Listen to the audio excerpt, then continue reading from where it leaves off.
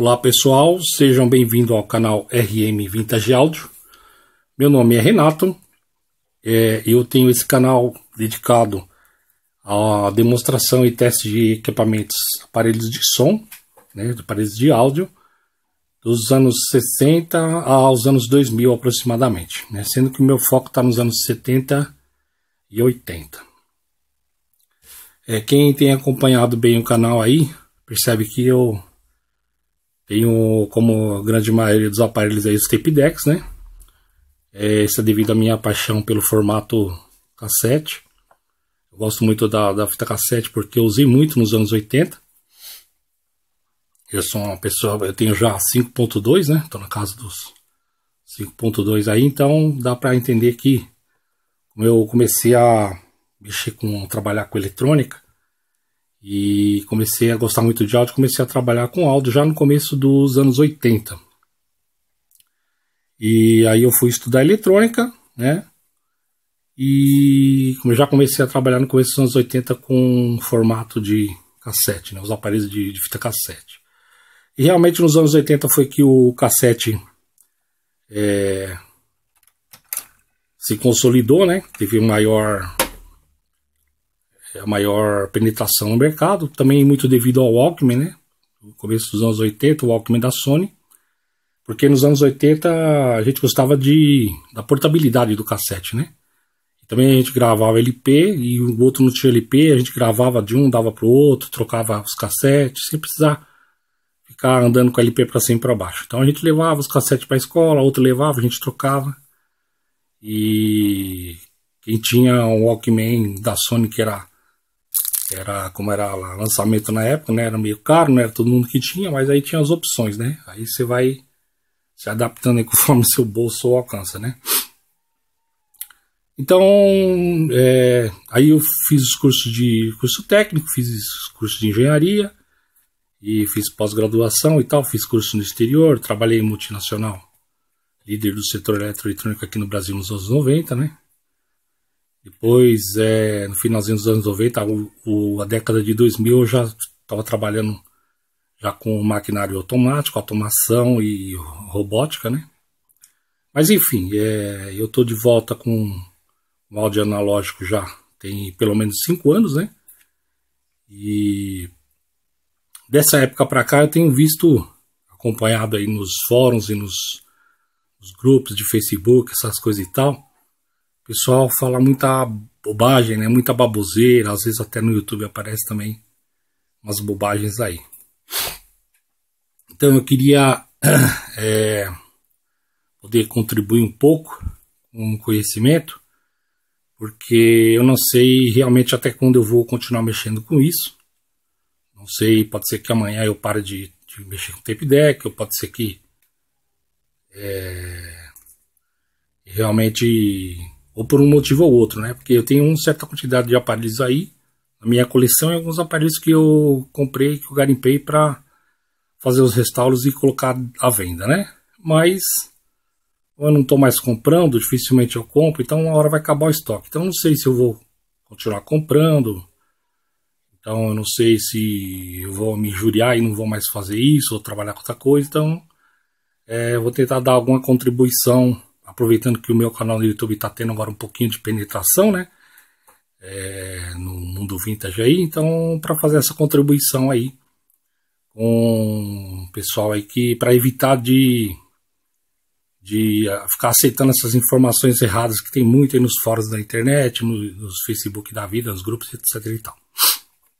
Tá certo? Então vamos lá. É, o objetivo desse vídeo aqui, eu vou falar para vocês o seguinte sobre a partir da manutenção é, dos aparelhos. O ideal é que o, o usuário, é, é a manutenção que o usuário tem para fazer é o que é a limpeza dos cabeçotes, do que é você tem o cabeçote de apagamento, o cabeçote de gravação e reprodução, o opressor e o capta. É isso que você vai limpar, que é o que eu costumo chamar do caminho da fita, tá?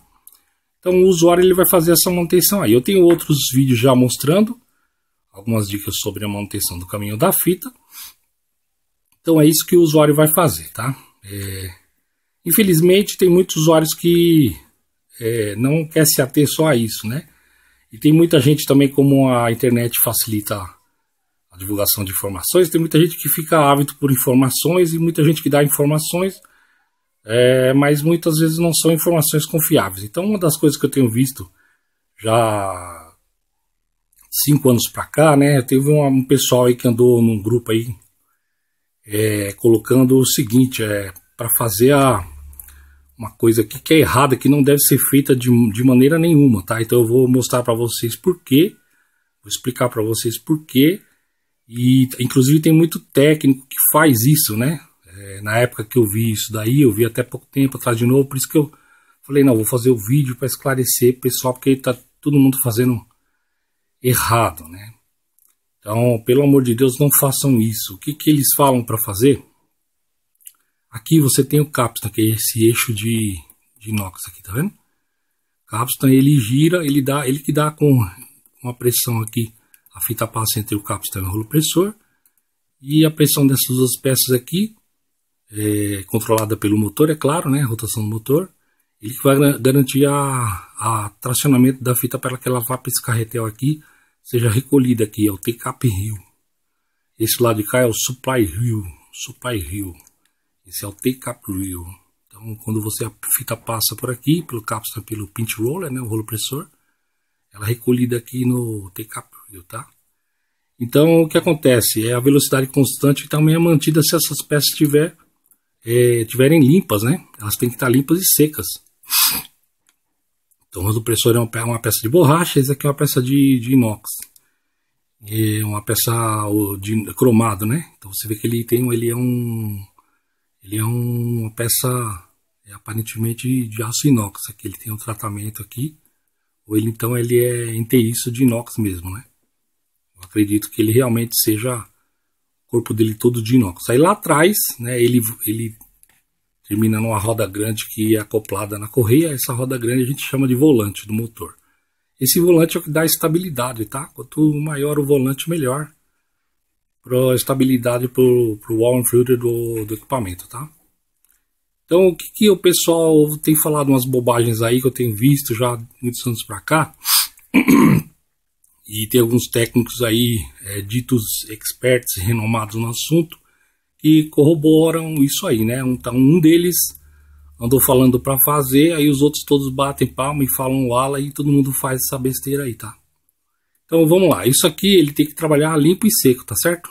Então você pode, você não vai achar em manual de tape deck nenhum, eu nunca vi, tenho vários manuais originais aí. Eu nunca vi em manual nenhum falando para fazer o que? Isso que eles fazem, lubrificar esse eixo aqui, ó. Diz que tem que colocar óleo aqui dentro aqui. Não façam isso, pelo amor de Deus, tá? Então, ó, você tem aqui atrás do eixo do, do capstan, essa peça de aço inox aqui, você tem aqui uma, uma polia de nylon, aqui não sei se dá para ver no vídeo, que segura. Ela, no, no, caso desse modelo, esse é o Gradiente CD3700, que é o mesmo CD4000 da Gradiente. Nesse caso aqui, ela tem um, ela é fixa ali, tá? Ela sai só sob pressão, tá? Mas ela é fixa. O camarada fala para você tirar essa essa é, arruela plástica aqui e tacar óleo ali. Não façam isso. Fala que tem que ter lubrificação. E não pode ter lubrificação porque você contamina, contamina o caminho da fita. Tá? É, a peça que tem atrás aqui, ó, então aqui você tem a base do mecanismo. E aqui você vê uma peça aqui, ó, um tom meio dourado aí. O que você acha que parece isso aqui? Material parece essa peça aqui? Latão, uns diriam. Outros diriam cobre. Tá? Vou falar para vocês, bronze. Tá certo? Uma peça de bronze, que é uma bucha de bronze feita especificamente para esse tipo de aplicação. Tá? No caso, essa bucha de, bronze aqui, ela não precisa de lubrificação, por isso que é usado tape deck, porque o tape deck ele não pode ter lubrificação aqui no eixo, no, no, no capstan. Você não pode lubrificar, porque é contraproducente, você contamina tudo, o rolo pressor, contamina a fita, tá? E fala, muitos vão falar, não, mas ele não vai passar por causa dessa arruela que passa. Essa arruela não é feita, ela não é retensor, retentora de óleo, tá? Se fosse uma retenção de óleo aqui, para colocar óleo, tinha que ter um anel de vedação aqui, conhecido como O-ring, aquele anel de borracha. Vedaria completamente aqui, tá? Assim como aquela... E provavelmente não ia ser... Se ele não pudesse escapar para cá, não poderia ser óleo, teria que ser graxa. Um anel ring e uma graxa para ficar a graxa contida lá dentro, como, como é feito nos rolamentos, tá? Mas nesse caso aqui, os fabricantes fizeram o quê? Uma, uma solução interessante, que eles, usaram essa bucha de bronze, tá? Que o bronze já é, eu vou colocar umas, fazer umas inserções aí na apresentação aí, do vídeo, para vocês entenderem. A bucha de bronze, ela já é material de baixo atrito.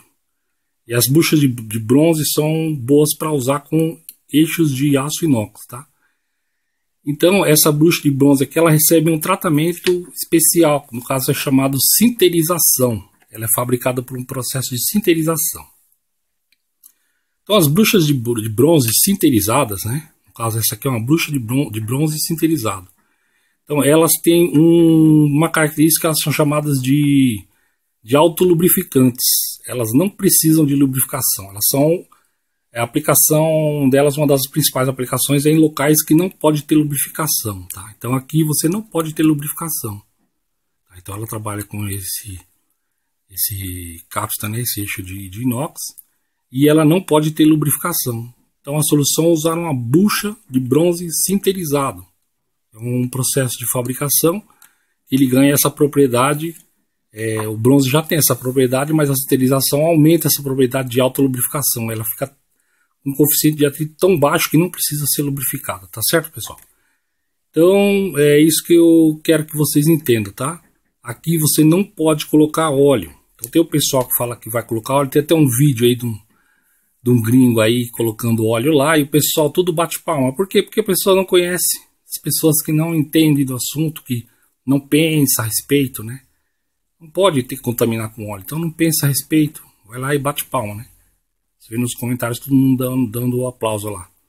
Aí você vai falar, não, mas eu tive um caso desse, aqui tava meio, meio duro, tava rodando com dificuldade, eu pus óleo e ficou bom. Sim, vai ficar bom, mas vai contaminar. Aí você vai limpar, sempre ele vai voltar um pouco. Qual que é o procedimento correto? Um técnico qualificado, experiente em tape deck, fazer a desmontagem e fazer a limpeza, desmontar o capsta, tirar o volante lá por trás, solta essa, essa a arruela plástica aqui, ele vai sair por trás. Aí você faz a limpeza da bucha, faz a limpeza do capstan, acabou o problema. Entendeu? Não tem que lubrificar. Tá ok? Então eu vou fazer uns insertos aí, uma inserção de umas imagens aí no vídeo. E para vocês verem que eu estou falando não é bobagem, né? E daí depois eu continuo com a explicação no vídeo aí.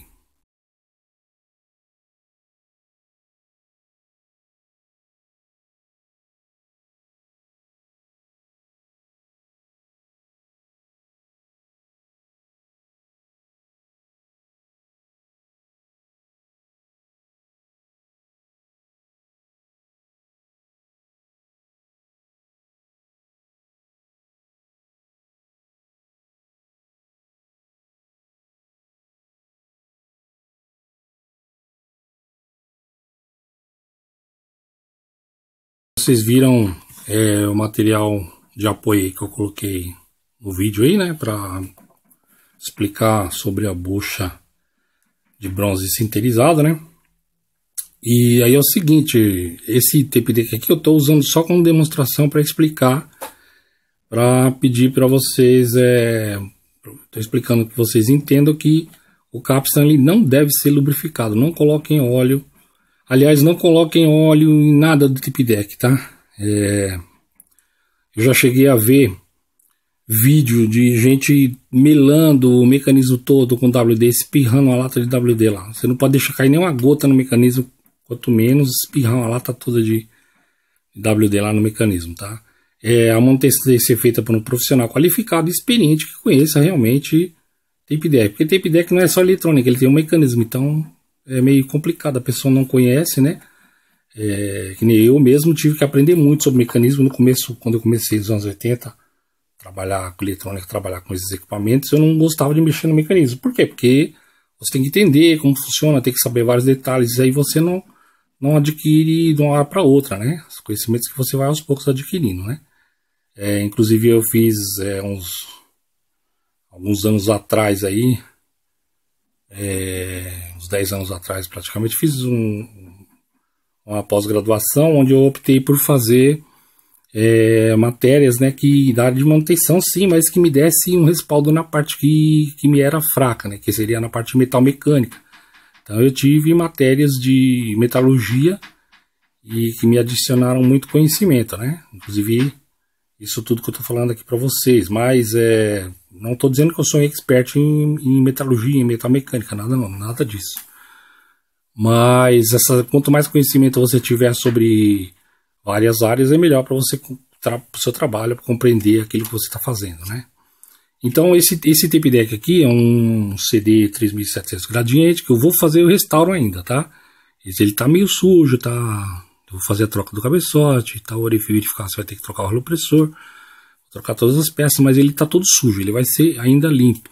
Eu vou fazer a limpeza dele. Então só estou usando aqui para é, explicar aqui, mostrar para vocês as peças aqui do caminho da fita, né? Os componentes do caminho da fita. Então, recapitulando aqui, você tem o cabeça, a cabeça de, a cabeça de gravação, cabeça de, oh, desculpa, cabeça de apagamento, perdão. E primeiro, ao lado esquerdo, a cabeça de apagamento. Aí aqui no meio você tem a cabeça de gravação e reprodução. Aqui embaixo você tem o rolo pressor. Tá? E aqui você tem o capstan. Tem até, eu já vejo até técnico falando errado. O cara vai falar capstan. tem muito técnico aí que não sabe nem falar o nome das peças, pessoal. Imagina se ele entende da manutenção. Esse é o capstan, tá? Tá bom? Então eu expliquei para vocês aí por que, que você não tem que lubrificar o capstan, tá? Ele já é feito para não receber nenhuma lubrificação. Por quê? Porque você contamina o caminho da fita. Então, se aqui tem que ter um atrito preciso para transportar a fita, você vai mela ele aqui de óleo e ele vai patinar. Tá bom? É uma coisa óbvia, lógica. Então, eu vi um vídeo de um rapaz aí uns anos atrás aí, lá nos grupos ridículos lá de tape deck, lá até sair desses grupos lá na época. O rapaz, além de, de colocar o óleo aqui no capstan, ele me metia uma furadeira, não sei quantos mil RPM, acoplava a furadeira lá no capstan e tacava a velocidade. Zzz. Meu Deus, parecia que o capstan ia sair voando. Eu falei, meu Deus, para que isso? Jesus amado, me poupe. Eu não quero mais ver isso. Aí eu saí do grupo, falei, não, não tem, tem condição, meu. Por que, que o cara faz negócio? Aí o que acontece? Tu não vai, né? pessoas têm menos conhecimento que ele, então, comparado com elas, o cara é um, é um expert, né? Então a pessoa vai e bate palma para um camarada desse que dá uma informação errada nessa, dessa na internet.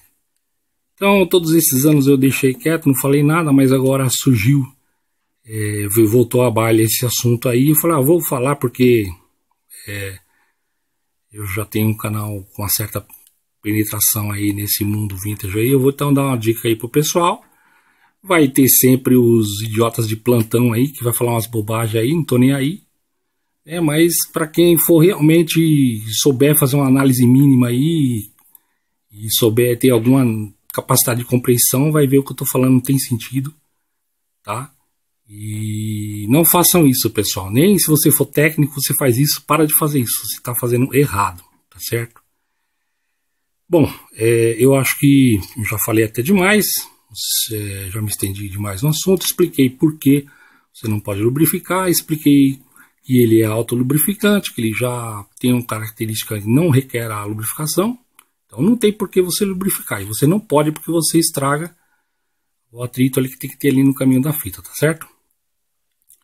Então, é, eu vou pedir para vocês aí, se você gostou, você dá um joinha no vídeo, compartilhe com seus amigos, é, por dois motivos, né? Para que todos conheçam e consigam é, manter de uma maneira melhor seus tape decks, não façam essa borrada de, de lubrificar o capsta, nem jogar a WD lá dentro do aparelho, no mecanismo principalmente, certo?